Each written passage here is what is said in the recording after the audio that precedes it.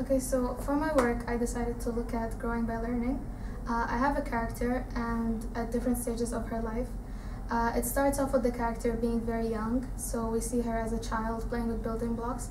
I wanted this to symbolize how early uh, our growing our growing and learning experience starts, and how our thirst for knowledge starts at a very young age.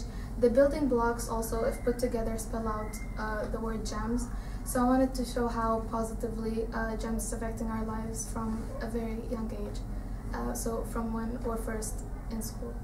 Um, as you uh, see the next images, you see how the girl is writing and learning through her teenage years. So we see how she's changing as a person as, and developing as an individual as her image changes.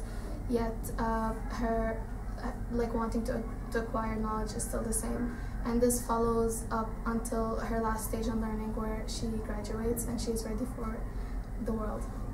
Um, for my media choices, I decided to draw the actual uh, image, the, the, the characters in pencil because it's my strongest point and I wanted to demonstrate my skills and to achieve the most high quality and detailed piece I can achieve. And for the for the background, I decided to paint in soft watercolors. I wanted to uh, achieve a warm feel, and also I wanted to the I wanted the pencil in for the characters to stand out the most.